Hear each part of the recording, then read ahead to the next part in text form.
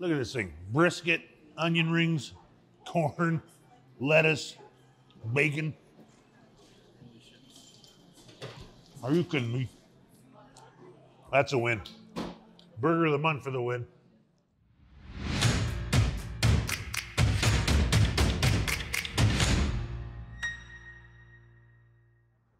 We're here, Red Deer, Cilantro and Chive, one of the most popular places in the city to fill your belly and have a bevy. My top two favorite things to do.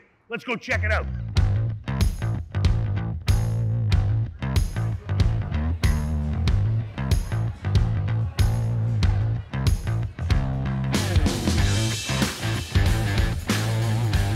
In this crazy COVID world we're living in, remember mask, QR code, ID, and you're ready to go. So excited. Buckle up, big dog's ready to eat. I'll have one of everything. Wonderful decor. Oh, I'm excited. Terrific, thank you. Holy smokes, look at all the options here. Oh, man. Okay, so there's Canadian smash burger, Korean barbecue pork belly noodle bowl, braised beef ravioli. That was my nickname in high school. Ooh, the Lone Star Burger, the burger of the month. Oh, oh, but oh, the mac and cheese poutine with tater tots. Uh, Rieley, can you tell me about the burger of the month? There's a, there's a charity component to that as well. right? There is. That uh, started almost five years ago now. We uh, I went and read a storybook to a kindergarten class, and uh, kids got this little sheet of paper afterwards, and a top burger bun and a bottom burger bun, and they got to put whatever they want on Okay. there. And we took a few of those ideas back, slammed them in a burger, and uh, it worked out. So we went back to the kindergarten class and said we are going to put it on our menu, and we're going to donate two dollars for every burger sold to the uh, charity of their choice. And these kids raised funds for the food bank and collected non-perishable goods, and we're almost hundred thousand dollars donated later in five years, and we're just having fun. Okay, so speaking with the burger of the month, I think I'm going to order it. Yeah. Okay, what is it this month?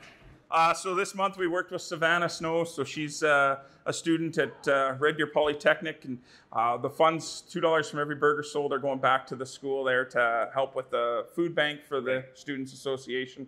So we should definitely have a very Southwest-inspired burger this month. Well, I hope I, I'm pretty sure I'll enjoy it. I get to turn down any burger in my lifetime. oh, but then there's the dill pickle poutine, hot wing poutine, pulled pork sandwich, uh, roasted pork shoulder. There's the Cubano, beef brisket grilled cheese. Is that made by Angels? Well, I mean, there's plenty of options, but I got to go with the burger of the month because two dollars from every burger goes to charity every month. So, and plus it's toasted brioche bun, rubbed brisket. hey, look, they got a wall full of memes. This is my favorite. Look at this 2020. Very bad. Would not recommend. oh, hello, beautiful. Can I Oh. else? No, I just leave us alone, please. Enjoy. Oh. Wondering if thousands of miles away, the sky's just as blue. It's as if I'm stuck in oh, yesterday when I'm thinking of you. Cause when you have your morning coffee,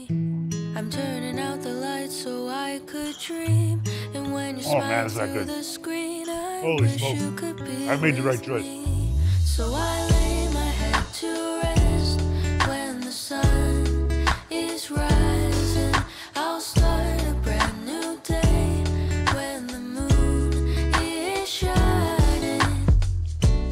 Ladies and gentlemen, the next time you're in Red Deer, trust me, you're going to want to visit Cilantro and Chive.